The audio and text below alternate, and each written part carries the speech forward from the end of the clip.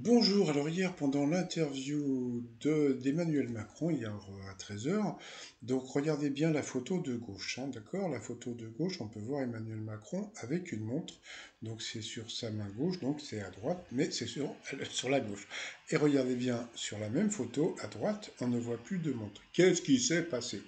Ben, Il s'est passé quelque chose, c'est que bon, ben, il y a eu l'interview, donc il a discuté, il avait sa montre, et puis d'un seul coup, regardez, sous il a mis la main sous le bureau et là, il a retiré sa montre. Regardez, il a toujours la main sous le bureau.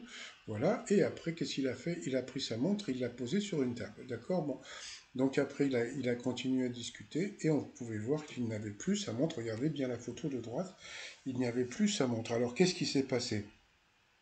Est-ce que euh, son signe extérieur de richesse euh, aurait pu embêter les Français?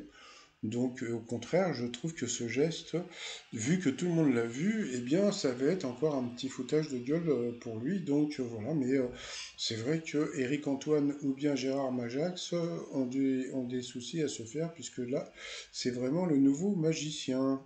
Allez, pour vous abonner, c'est en bas à droite, bye bye.